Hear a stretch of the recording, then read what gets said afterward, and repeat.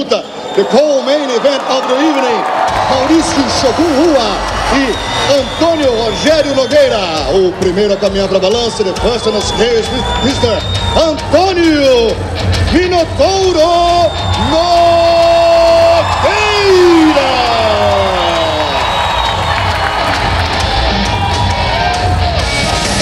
206, 93.4 quilos, 93 e 400 para Minotouro Nogueira na divisão dos meio pesados Light Heavyweight Division. Vem aí o seu adversário and his opponent, Maurício Shogun Rua!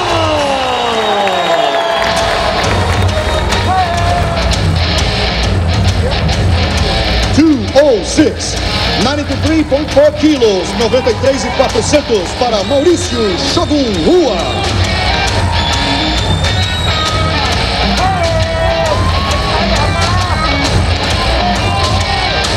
Confirmado, portanto, a penúltima.